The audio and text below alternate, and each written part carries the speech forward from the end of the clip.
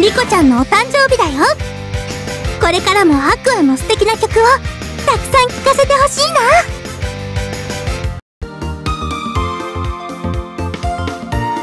今日はリコの誕生日。あなたのピアノが奏でる音。とても好きよ。今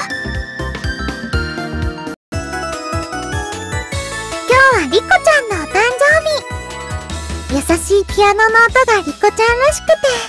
好きだな。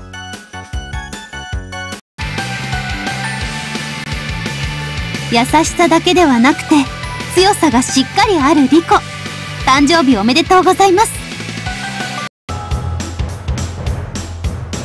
リコさんお誕生日おめでとう。東京と内浦の違い今度教えてほしいにゃ今日はリコの誕生日なの。私のピアノとは違うリコの旋律。とても好きだわ。桜の花びらが舞うように優しい光を届けてくれるリコちゃん。お誕生日おめでとう。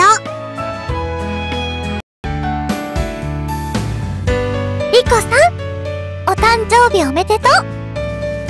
リコさんのピアノはずっと聴いていたい優しさがあるの。リコお誕生日おめでとう。今度ニコにピアノを聴かせてほしいな。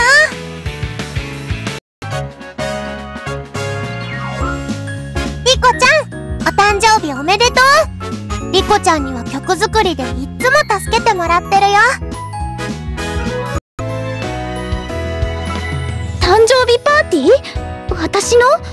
えー、なんか気を使わせちゃってごめんね。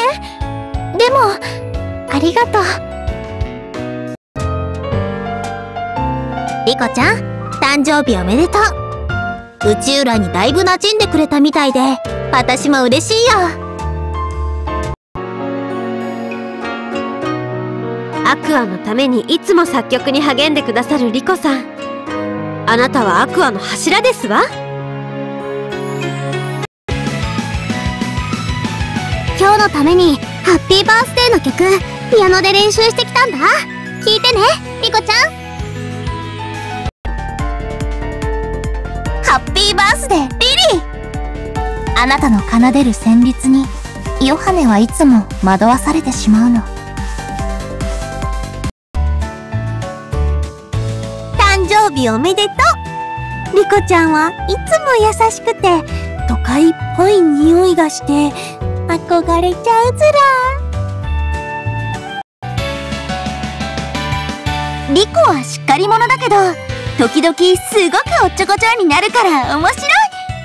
じゃなくて可愛いわ。お誕生日おめでとう。リコちゃんをイメージした巾着を作ってみました。受け取ってください。リコちゃん誕生日おめでとう。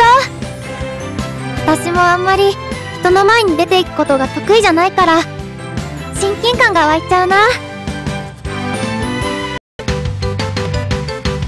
リコ先輩おめでとうございます。リリーってあだ名。なんかすっごくキラキラしてて素敵です。かすみんもそういうの欲しいな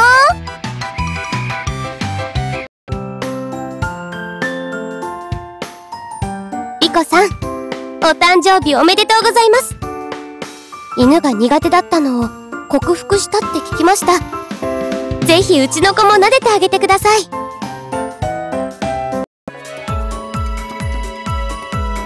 リコちゃんおめでとう。あなたの弾くピアノみんなの言う通りすごく素敵。リコおめえ。リコがピアノ弾いてハイさんが激しく踊るっていうのどう？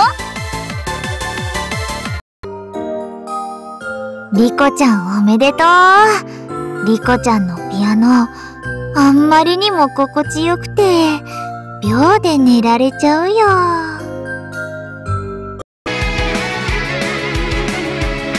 リコさんおめでとうございます。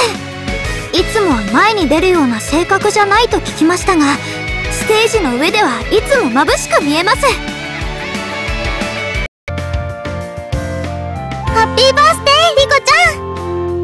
私もパンが大好きなのリコちゃんの好きなサンドイッチの具は何かな？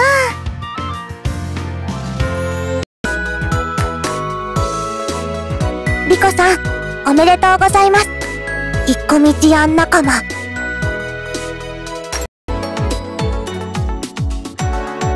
リコさん、お誕生日おめでとうございます。また素敵なピアノを聴かせてくださいね。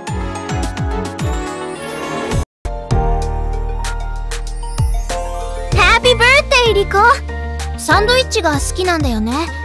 ってことは、ホットドッグも好きだよね。スタジアムに食べに行こう